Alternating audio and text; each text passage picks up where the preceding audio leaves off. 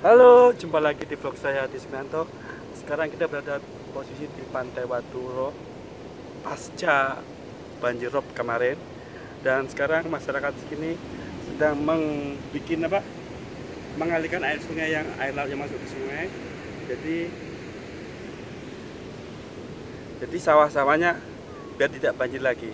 Untuk lebih jelasnya kita ikuti berikutnya. Oke, cekidot. Maturun. Kini masnya dari mana ya? Asli Jember. Di Jember. Oh Iya. ya ya ya ya. Makasih Mas ya. Iya, tak iya. ke sana sih ya. Ayo, Mbak. Enak langsung nak. Hmm.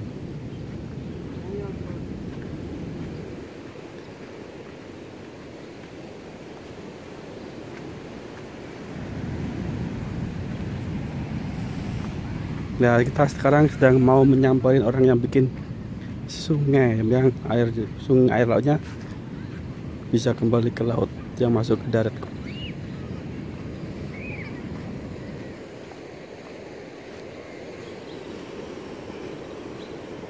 Nih, pasca banjir kemarin, teman-teman.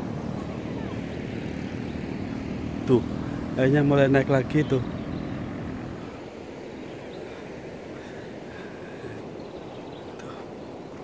Tuh, mas-mas. Ya.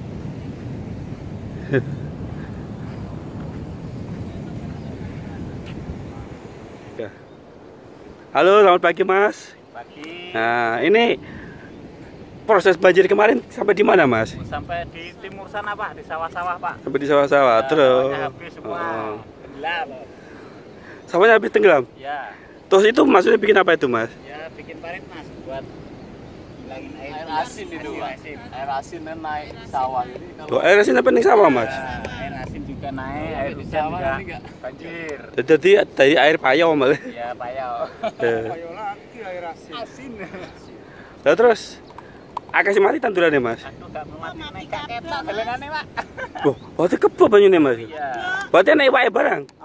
akeh Duh. Masa mas? Mung sing apa? Mung sing sing sing kuning iko. Wah. Ya turun mas tak tak manyara wong iku sih mas ya. ini kok pak kampung kok Iya Pak Kap. nah inilah teman-teman.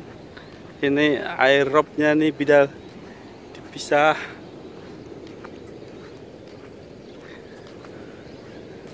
Ini berarti biar airnya bisa kembali lagi ke laut. Karena sudah masuk ke daratan ke sawah-sawah penduduk wah itu jadi ini kerja gotong royong.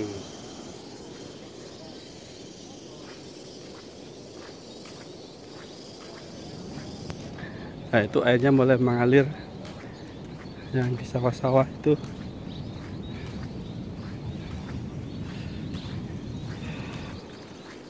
Ini dengan bapak kampung kita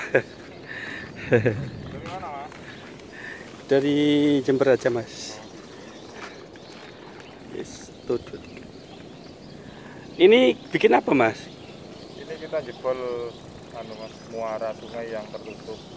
Karena banjir kemarin tuh ya. Eh, dampak banjir kemarin itu Heeh. eh, muara sungai sini tertutup sehingga air eh, apa air laut yang sudah terlanjur masuk ke persawahan nelayan itu Hmm. bisa keluar. Oh, berarti sampai masuk ke sawah Ya, pak? itu ada eh, sekitar 40 hektar mungkin yang terendam air Oh. sampai saat ini. Jadi Berarti air asin betul otomatis ya, tanamannya mati pak? tanamannya semua yang jelas sudah mati. Cuman Iya. ketika ini proses ini tidak segera dilakukan, Heeh. mereka tidak akan bisa segera mengolah tanahnya.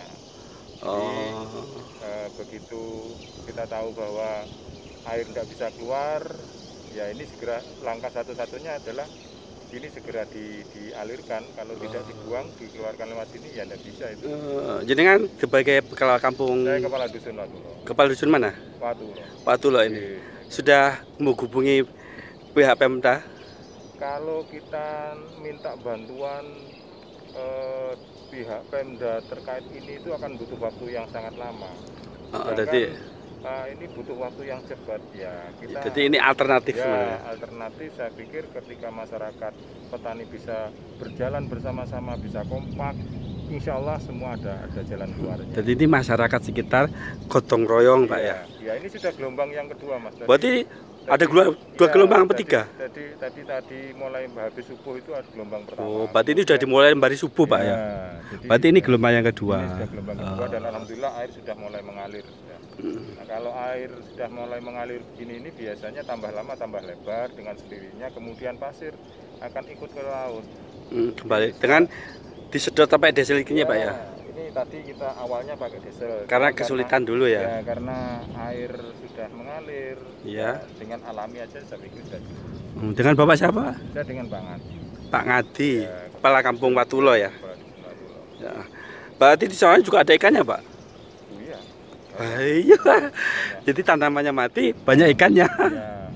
Ya, Ya sabar Pak ya. iya. Nah, ini kan bencana alam kita sendiri nggak nggak minta Pak ya, jadi datangnya tiba-tiba Pak ya. Betul. Iya, dan ini saya pikir dengan seperti ini kita lebih bisa meningkatkan gotong royong. Ah. Jadi semangat kegotong royongan itu tetap masih bisa Tetap tertanam dialirkan. di desa. Iya Pak ya. Terus ini kok kecil bikinnya Pak? Iya, nanti dengan sendirinya akan tambah besar. Oh gitu ya. Iya, dengan sendirinya. akan tambah Berarti ini airnya sudah berkurang banyak nih Pak ya? Iya, Berarti tadi penuh jembatan sampai di sini penuh. eh, yang kalau di sini tidak bisa penuh, yang penuh itu di sawah. Oh yang penuh di sawah ya? Yang penuh di sawah. Sawah. Nah, ini kalau Berapa hektar Pak tadi Pak sawahnya? Ada sekitar 30 hektaran. Gila.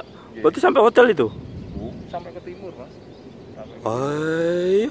sampai di sebelah utaranya ternak ayam. Yang gede tuh. Iya. Tapi rumah-rumah penduduk sini enggak ya? Iya, iya. Berarti yang dilewati sungai aja yang Pak ya? dilewati sungai. Yang Ya, paling bantaran- rendah Iya, ya? Dan ini sudah terjadi biasanya ketika ada gelombang pasang yang Iya. sangat besar kemudian dibarengi dengan hujan yang nganu deras ya biasanya seperti ini dan langkah alternatif yang terbaik ya seperti ini sudah benar Oh, ya. Ini pertama yang dilakukan atau udah berapa kali? Ini sudah tiga kali ya. Sudah tiga, Kalau sudah tiga kali. terla- karena terlalu tinggi kita minta bantuan ke Pemkap. Oh, ini karena masih bisa diatasi ya, dikit di- dulu ya. Karena sekarang bisa diatasi oleh warga kita ke gotong royong. Oh, oke. Nggih sampun tak anu tiang tampang nggih. Nggih, Iya. keturunan minal aidin wal faizin ya. Pak. Nih, orang-orang lagi kerja bakti nih. Iya.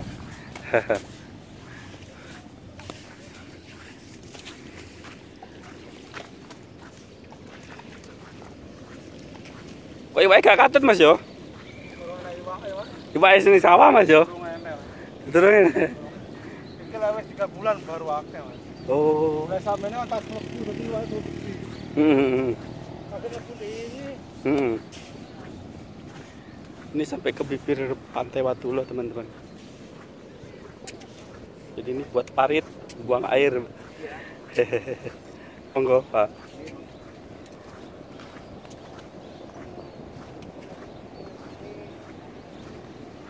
Enak putu enak mas yo. Ini paritnya teman-teman.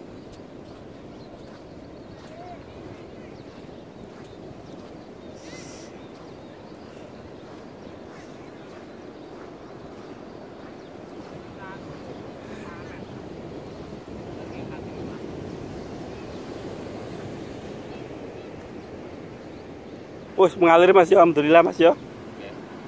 Sawah mulai sat Mas yo. Boten.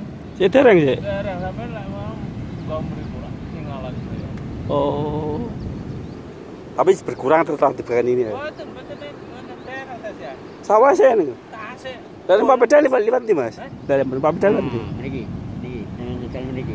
Mana? Terus mangkel akan Niki? niki nggih. Sampeyan semerep situasi pasar mriku. Sampeyan pengen ngarto aja saya tepi-tepi. Sampeyan mriku nggih. Omah tingkat sampe ngaler. Omah tingkat sampe ngaler pun Ya inilah teman-teman kondisi sawahnya ya Allah. Ini semuanya air laut ini. Tuh dengan kedalaman yang lumayan nih. Tuh jagung aja sampai tenggelam teman-teman. Tuh sampai ke timur teman-teman. Tuh aku aja lewat air ini. Ya Allah tuh. Oh. Hmm. Ini teman-teman. Oh, kasihan petaninya teman-teman. Padahal ini radius sekitar 5 sekitar 3 kiloan dari pan, bibir pantai ini teman-teman. Uh. Ya Allah teman-teman. Tuh lewat mana nih? Ambles nanti nih. Tuh. Ini biar airnya tidak mengalir ini. Bismillahirrahmanirrahim ya Allah. Tuh teman-teman. Aduh.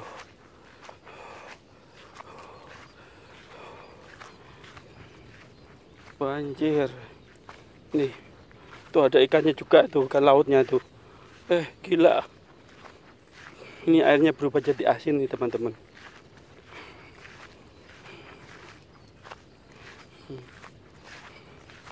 Tuh, nih. Gubuknya setengah tenggelam ini, teman-teman. Ah. Ya Allah. Sepanjang mata memandang. Tuh, semuanya jadi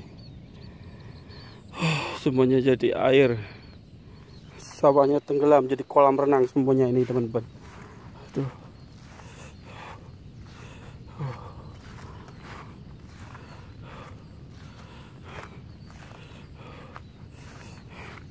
ini kalau agak dibersihin jadi garam ntar ini pada sebagian sudah ditanami jagung di sama petani teman-teman itulah yang namanya bencana ya Allah ini tuh lewat mana nih teman-teman Bismillahirrahmanirrahim ya Allah.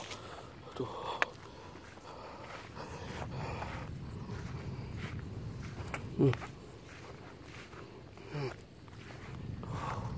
Di sini uh, petaninya nggak ada di sini tapi jadi jadi di bibir pantai itu. Buang air yang ada di sini. Jadi percuma di sawah nggak bisa ditanami ini. Ya Allah.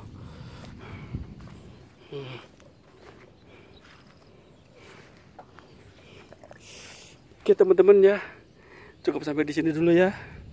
Panas nih jangan lupa di like subscribe dan komen.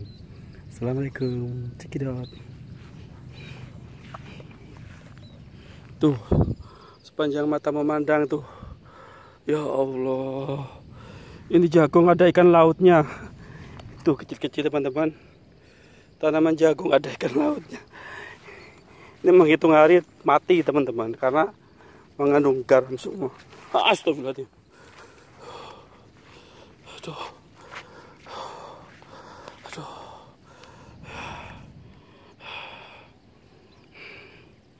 Assalamualaikum